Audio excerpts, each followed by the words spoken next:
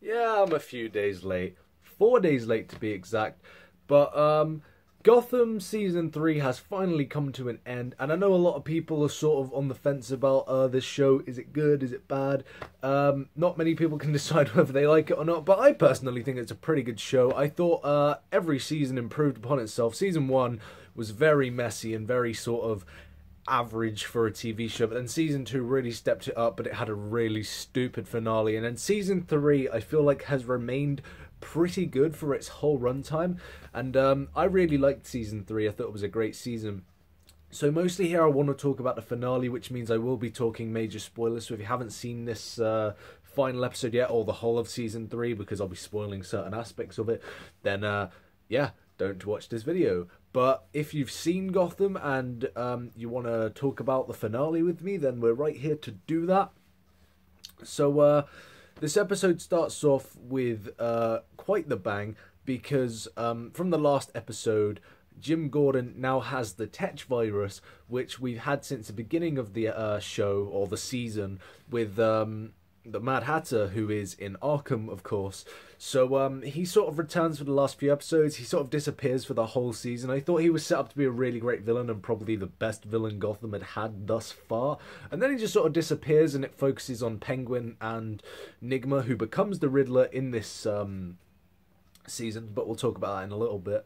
So uh, Jim Gordon has the virus. He breaks out because uh, Lee, who also has the virus, has buried him underground. So he breaks out of this coffin, and we see Jim Gordon's true self come out. Something bad happens to Jim Gordon at the end of every season. I mean, he was a baldy clone who went around um, and got accused of, you know, murdering, and now he's got the Tetch virus, and he'll probably again get that. Except he doesn't really this time. So at least Jim has a little bit of a break, right?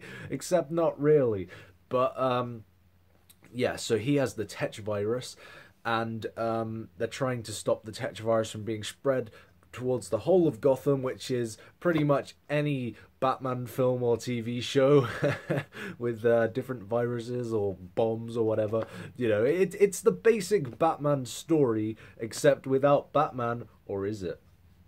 So yeah, um, Fish Mooney also returns in the season, which was completely pointless. Literally any character could have took her role. I mean, they could have given what she done to Butch, maybe, and it wouldn't have mattered because she really doesn't do much. I mean, she has these magic powers at the beginning of the season, which really don't make sense. Like she can read minds or she can control people with her mind or whatever when she touches them. I never really thought she was a great character. I mean, season one, I sort of thought was fine because she was this sort of gangster type, and it was like, okay, this is a mobster story. This story is about mobsters and police police officers, and I can see that working. But then turning her into like this super powered being, and then not doing anything with it ever again, and then having her return again, like she's been killed so many times at this point, and again. She dies in this episode, and it's like, well, she, she probably doesn't. I mean, a lot of characters do die in this um, episode, or at least about three or four do.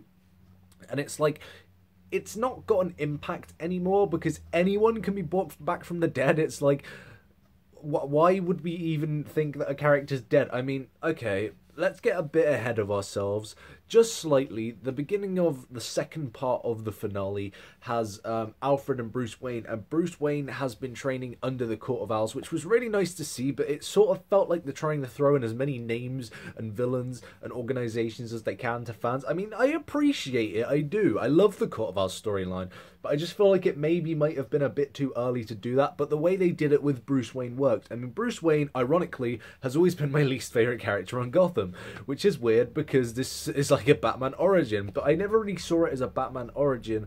I saw it more of a story about police corruption and the origin of the villains rather than Batman. And I think that was the point. But um, this season was more the origin of Batman as well. So we get to see Batman's origins as well as other characters' origins. It was good. I liked seeing that. I liked seeing them work well with each other. I mean, I liked seeing the villains and Batman um, sort of, you know, get born together in one. Like to like you know, seeing them all have their origins at the same time. I liked that. I thought that was a really good idea, and it worked. It really did. So yeah, uh, Bruce Wayne's been trained under the Court of Owls, and then he gets um, well, he goes to this like secret building, which it's not that much of a secret because the name's on the door and he just opened it with no locks or passwords or anything. So, uh, not too secret, but a little bit secret. So he goes to this building and he meets Ra's al Ghul, which was probably the biggest reveal of the season. It was nice to see him in this uh, episode. But yeah, Ra's al Ghul is like, okay, you need to complete your training, you need to complete your journey, kill Alfred. And Bruce Wayne doesn't really hesitate much. He just sort of stabs him through the heart, and it's like, okay, I know Bruce Wayne's under mind control, whatever. Not really mind control, he's sort of being manipulated. But it's not like he has the Tetch virus here. It's not like he would just go ahead and kill his surrogate father because you know, he does it and he feels the regret after, and you feel bad for him after, or you feel for Alfred, you feel the emotion in the scene, but it's like he did it so quick and so without remorse at first. It's just sort of like, okay, I don't know if Bruce Wayne really would do this, even if he is being manipulated. So, uh, yeah, Alfred is, of course, brought back to life with this magic elixir or whatever it is. It's never really too explained what it is. It's like, I don't know, maybe it has something to do with the comics. I can't really remember because I haven't read a Batman comic for quite some time. But, um, you know, it, it was just a bit weird seeing Bruce Wayne do that, like straight up killing Alfred without really hesitating much until after he's done it. So yeah, the relationship between Nigma and Penguin comes to a sort of halt in this episode because they've been going through it all. You know, as you know, the penguin turns out to be gay and he's in love with Nigma, and then he wants to kill Nigma because Nigma tried to kill him because he killed Nigma's. Yeah, it, it's a lot. It's a bit convoluted. A lot happens with them, but in this one, we get a real Jabba the Hutt moment because um, you know, you got Mr. Freeze, who again was kind of pointless being introduced right now, but I guess it was all payoff for this episode. Yeah, Mr. Freeze and uh, Penguin like are at the end of a pier, and Penguin is about to kill Nigma, and he's like, "No, I know what I'm gonna do." He freezes him like Han Solo in Carbonite. He opens up the iceberg lounge. The centerpiece is Edward Nigma frozen in ice, and it's like, okay, so does that make Penguin Jabba the Hutt and uh, Mr. Freeze Boba Fett and the the Riddler Han Solo? Are we rooting for the Riddler here? Do we want him to get out? I kind of do. I like the character. But yeah, the very uh, finale of this, obviously the Tetch virus well, it stopped. Tetch is shipped back to Arkham because it has to happen. Antidote happens. Lee's cured. Jim's cured, but Jim is back on the police force. And it was a nice ending. This episode had some real emotional moments, as well as the action packed fun and ridiculousness. It had some real heartfelt moments, which Gotham has been lacking. Uh, especially between Alfred and Bruce. Uh, I feel like Bruce has really improved, and I feel like in season four, when it comes to Bruce, I will like him a lot more than I do. So yeah, they're all cured. Uh, we get two deaths, which I feel like will not stay as deaths. I feel like they are both villain origins, and I'll tell you why. Uh, the most obvious one being Butch. Barbara shoots him point blank in the head, and it's like, oh, okay, fair enough. Uh, Butch wasn't really that big of a character anyway, but then at the end, when he's in the hospital, we find out his name is actually Cyrus Gold. And as we know, Cyrus Gold being Solomon Grundy, the big zombified badass from the Batman comics and games and everything like that. So I feel like it makes sense for Butch not to be dead if he is Solomon Grundy, because it makes sense for Solomon Grundy's origin. He's a big zombie, and it makes sense if they bring Butch back in that way. So, uh, I don't mind that. I don't mind them if they bring back Butch as Solomon Grundy because he is, of course, Solomon Grundy by that name. The next one is Barbara herself, who is killed by Tabitha for killing Butch. There's a lot of you killed this person, so I'm going to kill you going on, or, you know, a lot of that sort of shit going on in this season, which I don't mind so much, but there was a hell of a lot of it and it got a bit tedious. But she pushes uh, Barbara into like an electric panel, gets electrocuted, and uh, a lot of people think that Barbara is Harley Quinn, and this sort of puts it there because she is insane and she obviously goes through electro uh, shock therapy from the Joker, which obviously Tabitha's not the Joker. I mean, she could be, but Tabitha's not the Joker. It's uh, Jerome who is the obvious candidate for the Joker, who sort of also disappears. I can't really remember what happened to him. He had his face cut off, like that Death in the Family thing.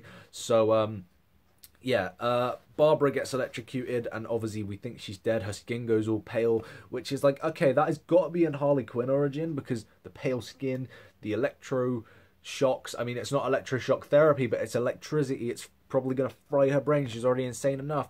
So I think we now have the origins of Harley Quinn and Solomon Grundy. So I thought they'll be the forefront of season um, four. Um, the ending of season two with Fish and the clone of Bruce and everything, there isn't really any payoff for either of them. Um, and obviously, we do get Selina Kyle at the end of this, and she is in full Catwoman gear with her whip. So I think she will probably be another big centerpiece in season four. The origin of Catwoman will probably come out a bit more clearer. But yeah, overall, I like this season of Gotham. It's my favourite so far. I think, yeah, it's still a bit flawed with some of the episodes. Some of it is a bit too ridiculous. But I like the fact they're taking the Batman mythos in a different direction and giving it their own spin. Uh, I feel like it's good. I do enjoy it, and I thought that uh, all the payoff was good for every character that we got, really. Except for the fact that we've got more deaths that aren't deaths. But other than that, I think season three of Gotham is a solid season of television. If you haven't checked it out already, check it out. Um, I think Gotham gets too much hate. Um, I don't think it deserves all of that. But uh, yeah, like I said, it's not a perfect show, but I damn sure enjoy it, and I will miss it. I will be like sort of heavily anticipating the next season. So there's that. So yeah, let me know what you thought of the Gotham finale. Comment below.